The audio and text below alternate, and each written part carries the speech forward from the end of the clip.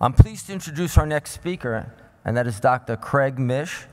His presentation is entitled Autogenous Bone versus Biologics, Graft Selection for Success. Ladies and gentlemen, please join me in welcoming Dr. Craig Misch. Thank you. Good morning. Uh, I'd like to start by thanking the scientific committee for the gracious invitation, uh, especially Dr. Nick Caplanis and Dr. Jaime Lozada. Uh, it's great to see so many familiar friends, uh, long, long time uh, member of this academy, so it's always an honor to be invited to speak. As David had mentioned, uh, my topic is looking at autogenous bone versus, versus biologics. Uh, before I start, let me just, uh, is this clicker not working? There it goes. I do have affiliations with universities as well as several manufacturers, uh, although I'm not getting any honorarium for this presentation today. So to begin with, I want to get everyone on the same foundation. Uh, two axioms that I have. The morphology of a bone defect should influence our choice of a material or technique for repair. The second axiom is sites with less bone, with fewer bony walls or greater atrophy. These sites are more demanding and require materials or techniques that offer greater biologic activity and regenerative capacity. So this is the foundation for what we'll be discussing today.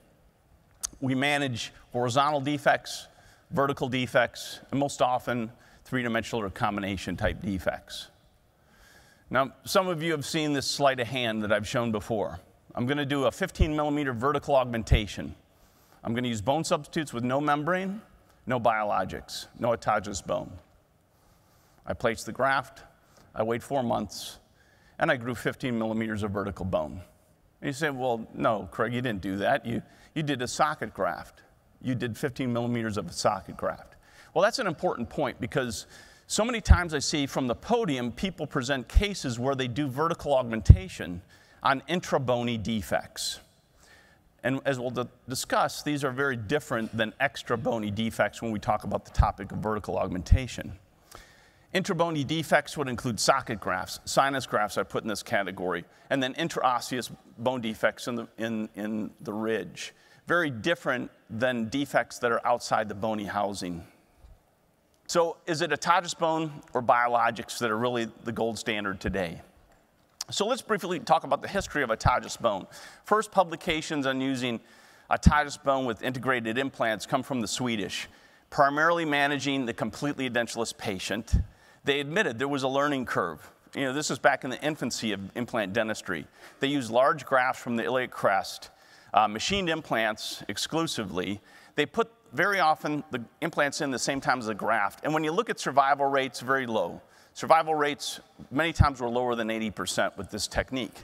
Unfortunately, the bad experience with uh, implants with autogenous grafts kind of carried over to the present in many clinicians' minds even today when we talk about the use of autogenous grafts.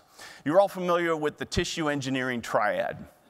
The triad of having signaling molecules or growth factors, a scaffold that's usually some mineral construct, and then cells that are present, whether they're osteoblast or mesenchymal stem cells. And bone fulfills all three aspects of the tissue engineering triad. Given adequate time and the proper environment, you're going to regenerate bone quite predictably with this. The perfect bone graft is a cortical cancellous bone graft. It's osteogenic, it's osteoinductive, it's osteoconductive. If we look at other types of autogenous bone, such as a cortical graft, you see I've whited out osteogenesis because we really don't have cells that are capable of producing bone. We have osteocytes. These are uh, osteoblasts that became entrapped within the bone. They don't have the capacity to grow bone, but as we'll discuss, osteocytes do play a role in bone homeostasis and may even influence bone grafts. But cortical grafts are certainly osteoinductive and osteoconductive, and they work quite well in implant dentistry because as they incorporate, we now have this dense bone, bony ridge to be able to place our implants and support our prosthesis. The first attempt to replace the autogenous bone was really a demineralized, uh, freeze-dried bone allograft. Developed by Urist, Urist invented BMP or discovered BMP, if you will, placing the product within the pouches, uh, muscle pouch of ra uh, rats, and finding that, that it produced ectopic bone. I will tell you, it's much easier to grow bone in rats than it is humans. And I think we all realize today, when we look at uh, demineralized bone products, they really have a low potency of osteoinductivity. They're mildly inductive or weakly inductive at best. And when you look at the amount of BMP that's present in bank bone, it's measured in picograms versus the, the biologics that we have available today, we measure in milligrams, being a million times the, the, the uh, concentration. There's a variability of BMP from bone banks. The study on the right took 113 lots of bank bone, different um, um, lots from the same bone bank, and measured how much BMP was present. You see it's all over the map. Some very low, some are higher. When they implanted the products into rats, they found that there was a direct correlation with the more BMP there was, the more bone that those formed. Now, bone banks are getting better, and they have different methods of processing to make this product a better product, but we have to admit that this, the osteoinductive capacity still isn't great with these products. In addition, they have poor scaffolding effects, especially the demineralized product. Usually, you have to add something to it to give it uh, more of a scaffold. And then certainly there are risks that are present, but these are, are quite low. Patients accept using their own bone. They don't like the fact that you have to take it from somewhere else, but they will understand that if you take bone from one area of their body and transplant it to another area, that it should work well. And they may have concerns with bank bone, cow bone, and some of the biologics, we're seeing some medical legal issues uh, come into patients' minds as well when we talk about using them. They're definitely economical. I mean, there is a huge economic benefit to using autogenous bone.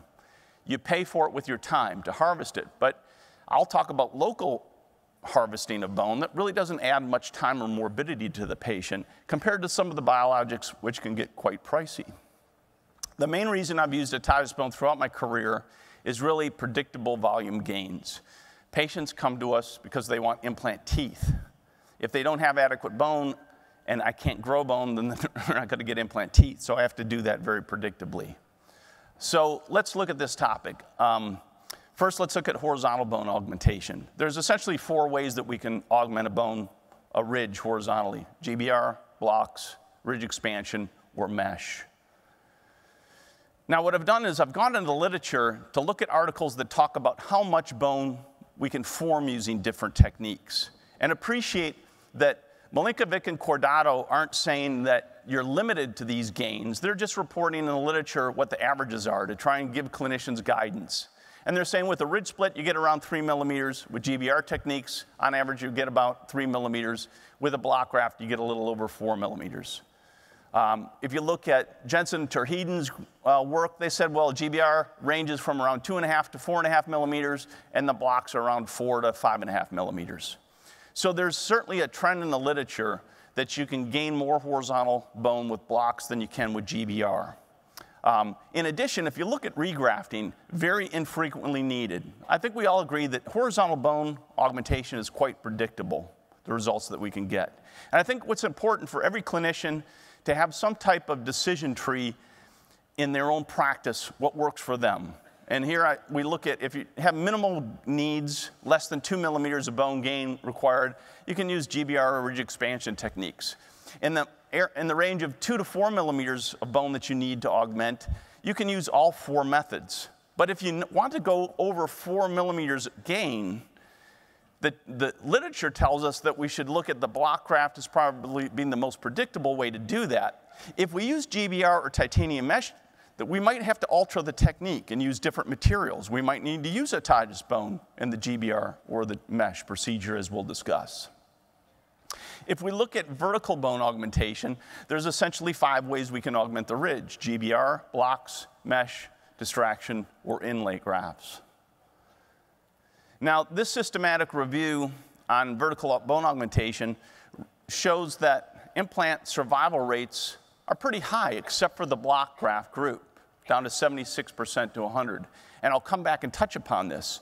But we, what we also glean from this article is there's a high rate of complications with vertical bone augmentation, even with experienced clinicians doing the procedure. I also wanted to point out something that some clinicians aren't aware of is when you look at vertical GBR, there's a consistent pattern of what is reported in the literature of what clinicians are using, and that is titanium reinforced PTFE membranes with particulate autograft as part of the component. So they're not using bone substitutes in these vertical augmentation studies to obtain these, these uh, volume gains.